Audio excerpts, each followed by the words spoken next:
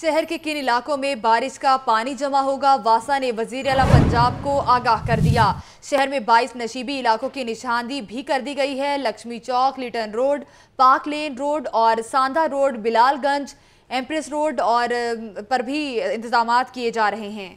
اس کی تفصیلات کے لیے شیخ زین العابدین سے بات کرتے ہیں۔ شیخ زین العابدین، بتائیے۔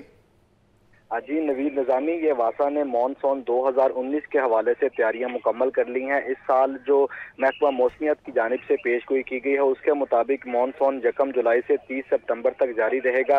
اس حوالے سے واسا نے وزیر اعلیٰ پنجاب کو مانسون کے حوالے سے تفصیلی بریفنگ بھی دے دی ہے۔ اس بریفنگ میں یہ بتایا گیا ہے کہ شہر لاہور میں اس وقت بائیس نشیبی علاقے ہیں، جہاں پر بارش کا پانی اکٹھا ہوگا۔ تاہم، بارش کے موسم کے دوران ان نشیبی علاقوں میں بارش کا پانی نکالنے کے لیے واسا کی جانب سے پینتیس مقام مقامات پر ایمرجنسی کیمپ لگائے جائیں گے۔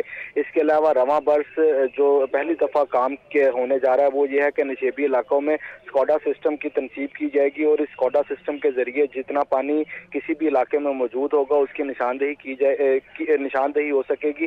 اس کے ذریعے ہی واسا فلف اور وہاں پر نکاسی آپ کے لیے کوششیں جاری کرے گا۔